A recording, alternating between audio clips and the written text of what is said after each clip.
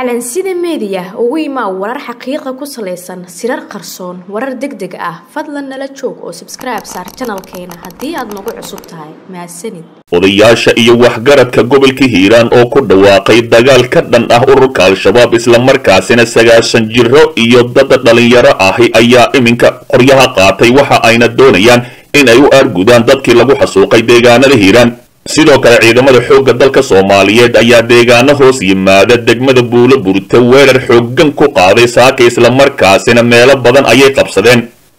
Taliyaasha iyo guddoomiyaha gobolka hiiraan cali jayte ayaa ayagana la kulmay ciidamada macaawiisleyda oo iminka diyaar u ah in ay al-shabaab meeshay galaan ka soo bixiyaan. Wararkii ugu dambeeyey ayaa idiin haynaa fadlan haddii aad ku cusub tahay halkaani falow saar oo sheergaray muuqaalka si uu dad badan u gaadho waad mahadsan tahay aan ku bilaabee kulan looga hadlayey dagaalada ka soo cusboonaaday gobolka hiiraan ee u dhexeeya ururka argagixisada al-shabaab iyo dadka deegaanka ahi oo garabka helaya ciidamada dowladda soomaaliya ayaa lagu qabtay deegaanka teedaan oo hoos yimaada degmada maxaas ee gobolka hiiraan.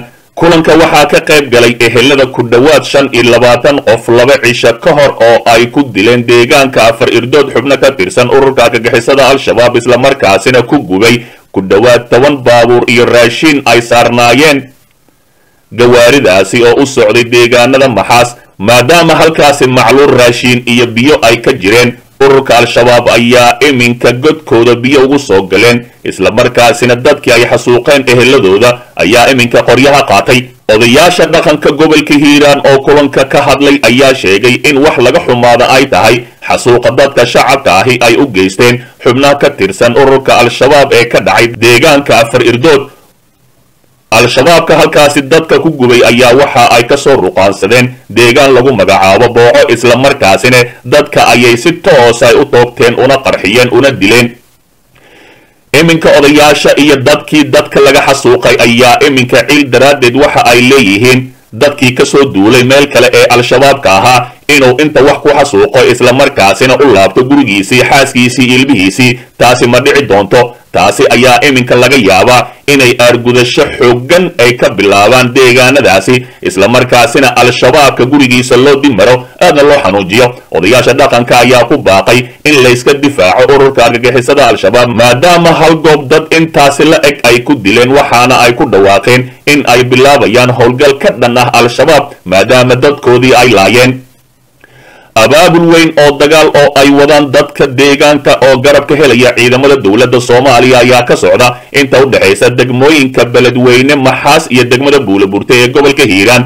Si kastaba ha ahaatee dad aad u caraysan oo in muddo ahi aan qori qaadan islamarkaasina si nabadgelyo ah xoolahooda iyo shacabkooda ama reerkooda kula joogay ayay iminka al-shabaab xanuujiyeen. Hase ahaatee waxaa macquul ahi dadkaasi in ay xataa u soo aargudaan haweenka iyo carruurta ay dhaleen ururka al-shabaab maadaama deegaano ay ku haystaan xaasaskooda. Deegaano kalena ay ka geysanayaan xasuuq haween carruur iyo waayeello sagaashan jir ahi. Si kastaba ha ahaatee odayaashii beelweynta xawaadle hubkii ayay qaateen. Geesta kale ciidanka xoogga dalka oo howlgallo qorshaysan ka fuliyey deegaano hoos yimaada magaalada buula burta ee gobolka hiiraan ayaa gacanta ku dhigay deegaano dhowr ahi oo ay ka mid yihiin ceymooy dhagax yaale kilad kubadley iyo ceelka dabayoodle oo labaatan kilomitir u jirta degmada buulaburte ciidanka xoogga ayaa sidoo kale gacanta ku dhigay doomo ay lahaayeen kooxaha argagixisada al-shabaab oo ku xirnaa webiga shabeelle kuwaasi oo argagixisada ay u isticmaali jireen in ay ku qaataan saanada dhaawacyada iyo gurmadka degdega ahi waxaana ay ahayd bar isku socod oo ay u adeegsadaan gobollada shabeellooyinka iyo gobollada dhexe. Saraakiisha ciidanka xoogga dalka ayaa sheegay in ay howlgalkaasi sii wadayaan tan iyo inta laga xuraynayo kooxaha argagixisada deegaanada hirshabeelle waxaa xusid mudan meel kasta oo ay qabtaan ciidamada xoogga dalka soomaaliya dhowr iyo afartan saac kadib waa ay ka soo laabtaan. Hase ahaatee shabaabka jaqda ayuu ku jiraa waa ayna ku soo laabanayaan. Tuulooyinkan ay iminka qabteen ciidamada xoogga dalka soomaaliya. Ayuu madaxweynuhu booqday maamulada koonfur galbeed iyo galmudug. Safarkan ayuu madaxweynuhu ku muujiyey siyaasaddiisa ku dhisan heshiiska wadashaqaynta iyo iskaashiga ee uu ku shaqayn doono sannadaha soo aadan. Waxa uuna farriinta soomaali heshiis ah gaarsiiyey siyaasiyiinta odayaasha dhaqanka dhallinyarada iyo haweenka. Dadka koonfur galbeed dowladda federaalka xaggeeda nabadaa idinka jirto. Saaxiibtinimaa idinka jirto. Mas'uuliyad iyo dadkii idinku aad xilka u dhiibateen si toosan iyo si dadbanba aad xilka u dhiibateen ood adinka aad wakiilateenaa idinka jiro. Caadi iska dhega haddii dadka qaar ay dhihi jireen basku waa buuxayo meel laga fuulo male tareen aan dhammaanaynaa taagan aan tareenka wada raacno. Muxuu ahay nabadda iyo aayahana aan aadno. Si loo gaaro jawi xasiloon oo maamulada iyo dowladda federaalku ku wada shaqeeyaan waxaa muqdisho ku qabsoomay shirka golaha wadatashiga qaranka oo aan muddo qabsoomin. Shirkan oo laba maalmood socday waxaa ka soo baxay heshiisyo ay horay u adkayd in la gaaro waxaana ka mid ah hannaanka amniga qaranka kaasi oo qayb mugla ka qaadanaya xoraynta iyo la dirirka argagixisada si midaysan. Nidaam doorasho oo muddaysan iyo in doorasho dimuquraadi ah dalka ka dhacdo. Mudnaansiinta dib u heshiisiinta siyaasadeed iyo midda bulsho ee guud ahaan dalka iyo hannaan garsoor oo madax bannaan. Jawi siyaasadeed oo deggan ayuu shirkan ku qabsoomay waxaana isbeddel ku yimid kala shakigii iyo isdiiddooyinkii dhex yaallay madaxda qaranka iyada oo loo jihaystay midnimo iyo xasillooni in lagu fuliyo qorshayaasha qaranka lagu hormarinayo magaalo madaxda puntland ee garoowe ayuu sidoo kale madaxweynaha jamhuuriyaddu ku tegey safar qaatay shan maalmood oo ku qutumay. Xaqiijinta hiigsiga soomaaliya heshiis ah waxa uuna wada tashiyo midha dhalan la yeeshay madaxda sare ee dowlad goboleedka iyo qaybaha bulshada puntland. Soomaali deriskeeda iyo dunidaba heshiis la ah si loo gaaro madaxweyne xasan sheekh waxa uu ku howlgalay siyaasad arrimo dibadeed oo ka madax bannaan collaysi iyada oo danta soomaaliya lagu raadinayo iskaashi dal walbana uu ixtiraamayo madax bannaanida siyaasadeed iyo tan dhuleed ee dalka kale. Madaxweynuhu waxa uu safarre ku tegay dalal uu qaarkood xidhiirkooda hoosu dhac ku yimid. Safarradan waxay ahaayeen kuwo midho dhalay oo lagu gaaray heshiisyo iskaashi amni iyo ganacsi.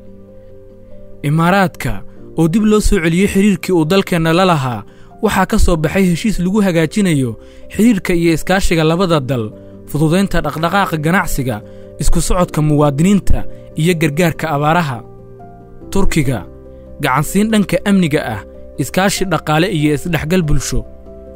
Eritreya xoojinta wadashaqaynta siyaasadeed iyo tan diblomaasiyadeed si loo ilaaliyo loona hormariyo danaha labada qaran iyo kor u qaadidda iskaashiga difaaca si loo ilaaliyo nabadda xasilloonnida iyo amniga.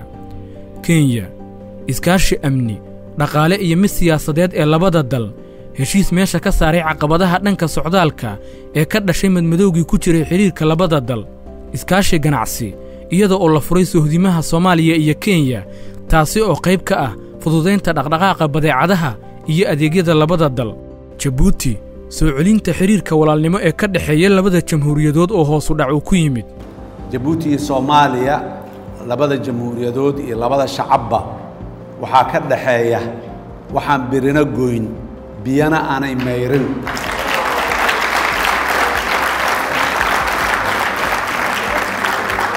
Taariikh taariikhaa naga dhexayso dhaqanaa naga dhexeeyo diinaa naga dhexayso dadnimo ama muxuu ahay cirqigaa naga dhexeeya waxaasi markaa wax oo ama siyaasada ay kala reebi karto ama xuduudo ay kala reebi karaan ama laba calan inaan kala leenahay ay kala reebi karto ma aha.